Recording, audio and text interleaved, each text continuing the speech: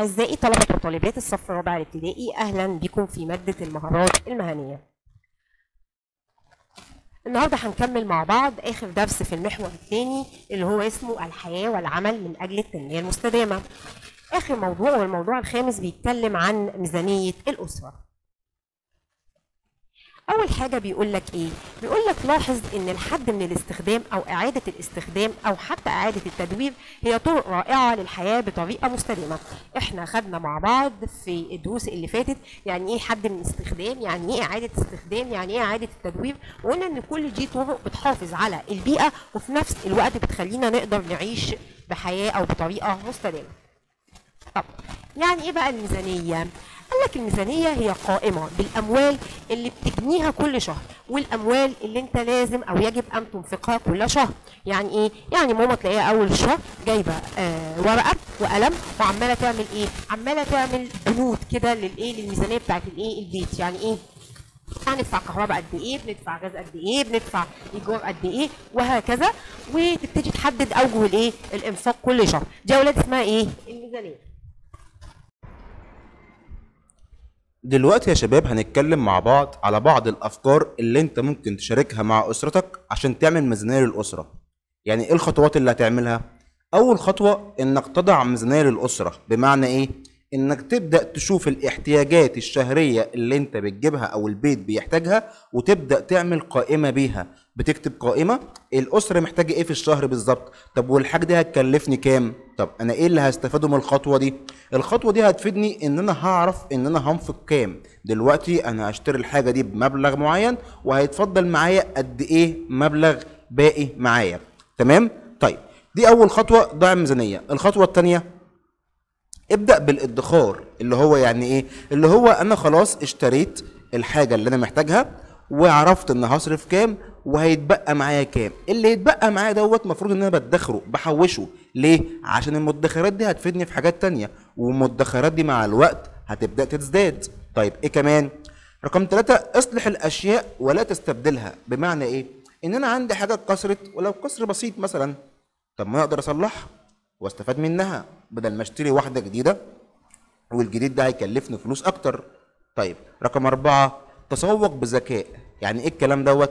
إن أنا أبدأ أشتري الحاجة اللي أنا محتاجها بس. يعني أنا بشوف ناس كتير بينزلوا الأسواق بينزلوا الماركت ويبدأ يشتري أي حاجة عليها عرض قدامه. طب ما كده الفلوس اللي معاه هتخلص ومش هيعرف يحوش حاجة. لا تسوق بذكاء إن أنت تبدأ تشتري الحاجة اللي أنت محتاجها إن أنت تعمل قائمة إن أنا هنزل أشتري واحد اتنين تلاتة فلما أنزل أشتريهم يبقى أنا خلاص اشتريتهم أروح ما أجيبش زيادة عشان الميزانية بتاعتي ما تبص.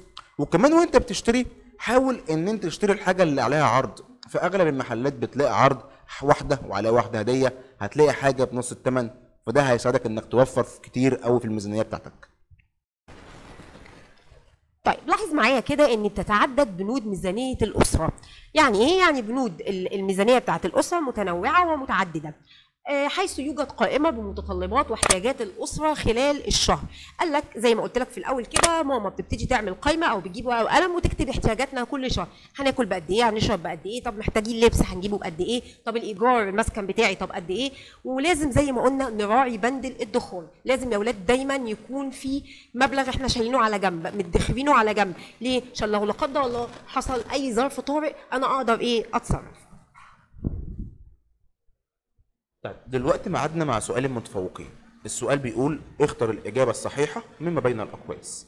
ميزانية الأسرة تتميز بأنها نقط متعددة ثابتة قليلة نادرة. مستني الإجابات في التعليقات شباب. طيب تعالوا ناخد معانا بقى المستكشف النشط. النهارده المستكشف النشط معانا مين؟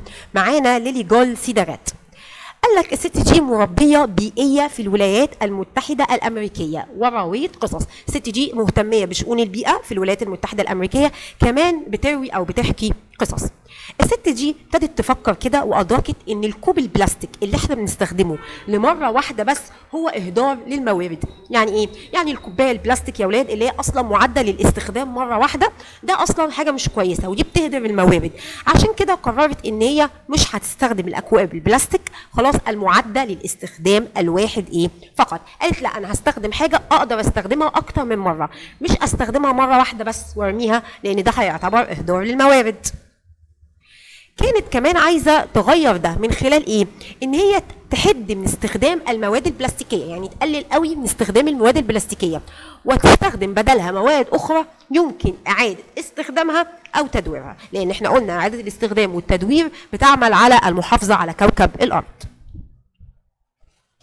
وبتقول برضو الست ديت إن هي لازم تستخدم مهارات تواصل لإقناع الناس عشان تقدر تغير الوعي اللي عندهم باستخدام الأشياء دي. الناس فاكرة إن الأكواب البلاستيكيه اللي هي بتستخدم مرة واحدة دي صحية ومفيدة بالعكس هي بتحاول توصل لهم المعلومة دي عن طريق التوصل إن هي بطرق مختلفة تحاول توعيهم إن الاستهلاك الواعي لازم يشاركوا فيه.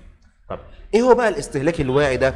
هو الإدراك بأن كل شيء نشتريه ونستخدمه يؤثر في في البيئة. يعني أنا كل حاجة بستخدمها كل حاجة بعملها خلي بالك هي بتأثر في البيئة سواء بالسلب أو بالإيجاب. طيب.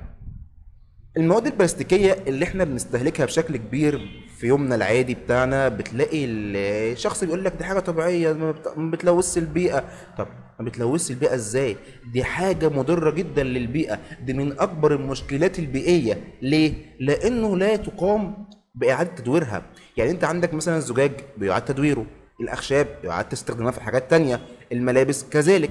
إنما البلاستيك لا يعاد تدويره فبالتالي بيبقى صعب عليك إنك تتخلص منها فبالتالي تلوث البيئة عندك بيكون كبير. فعشان كده هنحاول. أو هي بت... بتوعي الناس إنها تحاول تستبدل الأشياء ديت بأشياء يمكن إعادة استخدامها وتدويرها. طيب. وكمان هي كانت بتعتقد إن الناس بحاجة لمعرفة إنهم جزء من المشكلة وأيضا هم جزء من الحل بتاع المشكلة دي. ودلوقتي جاء وقت سؤال المتفوقين. السؤال بيقول ما المقصود بالاستهلاك الواعي؟